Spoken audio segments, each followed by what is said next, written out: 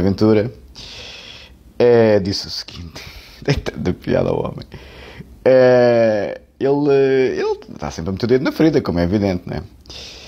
Ele diz que. Hum, a notícia é a seguinte: André Ventura acusou o PS de abrir portas a uma imigração sem regras. E depois, o líder do Chega acusou esta sexta-feira o PS de abrir portas a uma imigração sem regras ao acabar com os vistos na Comunidade de Países de Língua Portuguesa, CPLP.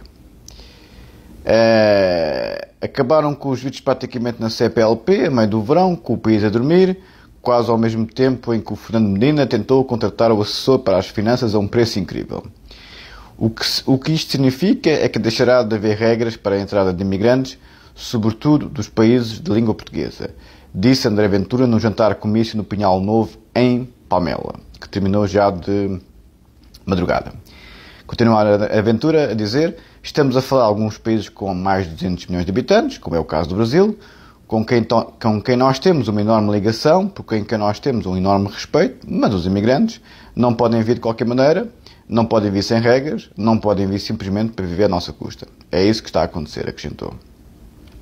André Ventura disse ainda que Portugal foi o segundo país do mundo que mais nacionalidades deu o ano passado.